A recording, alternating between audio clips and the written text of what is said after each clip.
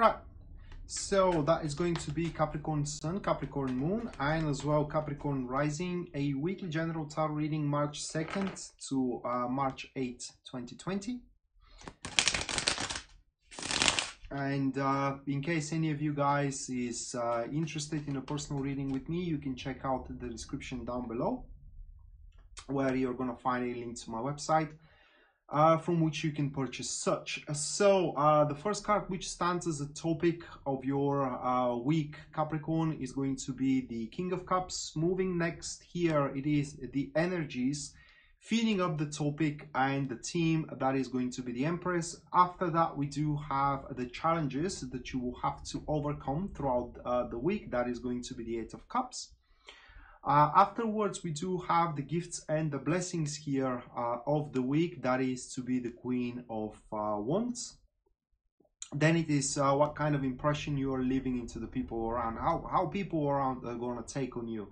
That is to be the uh, Temperance. And the last one, uh, which is the guidance that Tarot is offering, uh, we do have the tower, quite fitting to be honest with uh, with the rest of the cards. So what we do have here, it is that um, uh, you are definitely undergoing some sort of a transformation and transition that can be that can be see, seen uh, in three of the cards um, uh, that is to be the eight of cups here the temperance and then the tower cards. And the circumstances are described here into the empress and the king of wands.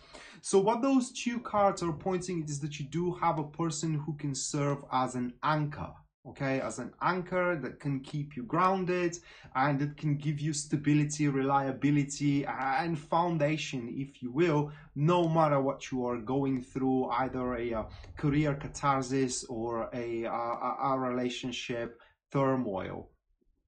Now, energy is like uh, with the Queen of uh, uh, not the queen but the empress. I'm sorry a bit tired here. Anyway so with the empress uh, it does look like that this week is going to ground you and make you more mature toward a certain situation that you are going and living through. Um, the reason for it it is so at the end of the day whatever decision you do have in terms of how to proceed with that situation, either career or relationship wise, it is uh, the uh, the most balanced and well found in terms of your personal well-being. Eh, we're not talking here even about happiness. We're talking about well-being that's uh, to have your life structured solid secured and etc etc now the happiness um, kind of like falls in a different uh, category here, if I may say, because uh, uh, just to give you an example, you can be happy if you execute a, a, personal project that can let you being fired, so you're going to be happy for a short amount of time, but you are going to lose stability, okay? So that week is entirely you focusing on what is substantial in your life and what can produce fruits um, uh, results, you know, and in generally can exert longevity and uh, can secure your foreseeable future. Uh, and that comes from a person, uh, King of Cups here. So King of Cups, these are people who can endure a lot. I'm saying that because they are most likely uh, are your follower, uh, they are your companion for quite a while. Having the Empress here as an energy card, these people doesn't just come like that. They they know you very well. And although uh, uh that person may not be quite pleased uh, in, in what kind of a state you are, they are also kind of tied to the fact that they have to see this thing through with you as well. Now, that person could be your wife, it could be your husband or a partner in business. But the thing is that they do not allow, once again, their emotions to, to, to, to kind of take the better of them. And this is the solo reason why you are not having a, a tremendous scandals uh, or, or big fights, for example, into your environment, either career or a relationship wise. Now, the King of Cups, they are usually uh, following the maximum that if they cannot help they do not interfere but this time around for what it seems they can definitely help you with whatever you're going through because the rest of the cards here shows that you are going through quite a lot for what it seems. And uh, uh, with the helping hand then the king of cups is going to offer you uh, now that I think of it could be a good friend of yours, okay? But this is to be an emotional and guiding helping hand. It's, it's not going to be a material, so they, they, they, they won't take on your things and solve your problems on their own or on their own or on their accounts but they will most likely guide you through advice you know kind of like shared knowledge experience and etc etc and with this help you will be able to kind of like center yourself. Another thing with those cards is that this week you, it, it, will be a bit quiet for you because you alone will decide to withdraw from everything, from all the BS around, okay? Uh, uh, and uh, that instead of being aggravated and highly emotionally swirled this way and that way, you will decide to seclude yourself so you can uh, regain a little bit of a, a emotional or a lot of emotional groundness and and balance. So at the end of the day you can uh, decide how to maneuver and how to act moving forward. Why well it's because we do have uh, this card here as a challenges capricorn and challenging the card points that it is what it is although the current situation may be not as good as you wanted it to be maybe a total failure um, opposite to what you imagined to be. Maybe it's not as satisfiable, uh, is is not as satisfiable as you have expected it to be. It is what it is. And instead of trying to recapturing today, which is gonna make you lose tomorrow, you should focus entirely on tomorrow. So that is your challenge. Not to focus on what could have been, but to focus on what can be. And uh, that being said, the card points put your back against your past and just move toward the future because a much brighter perspectives are awaiting you there.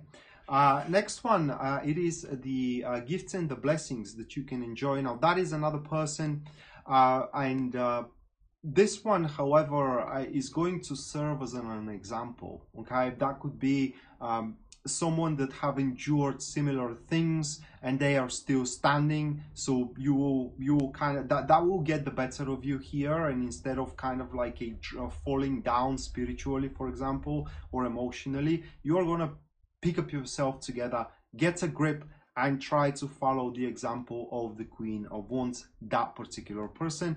Uh, so, in other words, this is someone who gives you the recipe of their success that can be incorporated in your um, in your personal uh, things that you're going through. From another hand, the Queen of Wands as well could represent a, a, very, very good business partner. I'm saying that because the Queen of Wands, it is, it has that acute business sense and knows exactly uh, uh, what needs to be done in order to be successful and lucrative. Now that is very difficult, uh, different, excuse me, from the Queen of Swords, which is a bit more stubborn than the Queen of Wands. I will try to explain the difference. So both queens, they are very capable to kind of like manifest things. But the Queen of Swords does not bail out. She tries constantly. If it doesn't happen one way, she will try another. While the Queen of Wands, if it does not happen from the first and second try, she's more prone to bail out on it and retry with something completely different until a, a lucrative endeavor happens. So that is a, a very flexible business partner if uh, if that is the manifestation uh, for you. And lastly as a gift and blessing that could be a quite sort of a handsome and enthralling person that comes around that you get to flirt with as well. But that comes sidewise from the main objective of the uh, of the week according to this reading and that is to ground yourself and to calm yourself down and make the most on decisions for how to proceed forward. So moving next, uh, it is uh, uh, the uh, temperance card and this is how people actually see you. So uh, uh, people were uh, kind of feeling pity on you for a reason being it is that they are um, i don't know how to say it in english but they kind of have the impression that you are going through a, a lot. And, and that that's probably true okay but also uh, they're acknowledging that they can't really help you because you have to go through this thing uh, through this thing alone. Just to give you an example of it uh, you know, you uh, say you had a breakup recently, they can't suffer for you through that uh, for you through that breakup. I mean you have to do it on your own accord.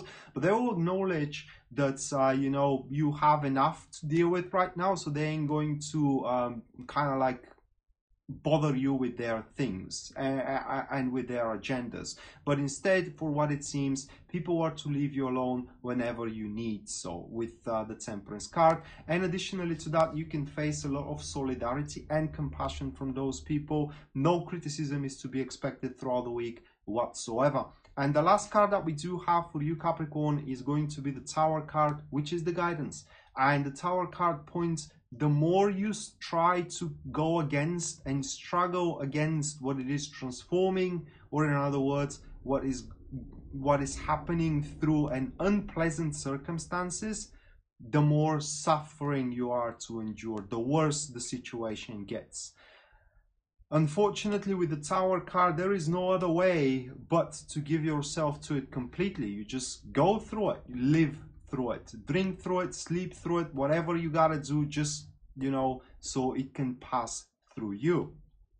That being said uh, tower card here points that whatever uh, you are giving up on throughout the week you know that could be i don't know a job suitor or whatever uh, as we saw that you are putting your back against it here that doesn't mean that you are depriving yourself from similar or from that cluster of events for your future. Example, if that's um, unsuccessful um, attempt for make a relationship, that doesn't mean that you're going to be single all of your life.